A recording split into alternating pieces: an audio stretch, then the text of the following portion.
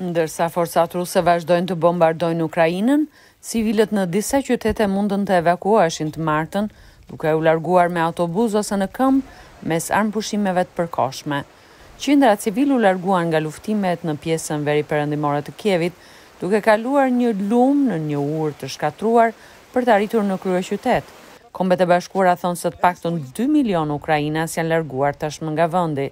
Në Uashington, presidenti Joe Biden njoftoi një ndalim të importeve ruse të naftës, gazit dhe qymyrit, ndërsa sekretari i shtetit Anthony Blinken vazhdoi përpjekjet e tij diplomatike për të koordinuar veprimet me aleatët e NATO-s në Evropë.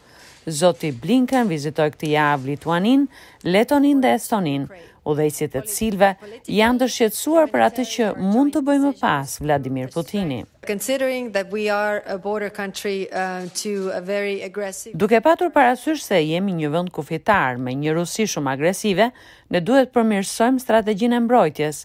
Deri tani kemi patur një strategji parandaluese, por duhet ta kthejmë atë në një strategji mbrojtëse, që do të thotë të shohim koordinim mes trupave dhe mjeteve.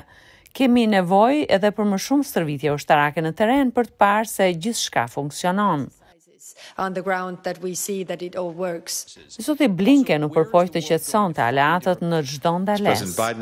Siç tha Presidenti Biden, ne do të mbrojmë çdo pëllëmbë të territorit të NATO-s me forcën e plotë të fuqisë sonë kolektive.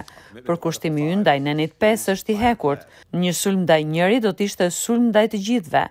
Ne dhe aleatët tanë të NATO-s jemi të përgatitur të përballemi me çdo kërcënim që vjen në drejtimin tonë nga kudo që vjen. coming in our direction from wherever it comes.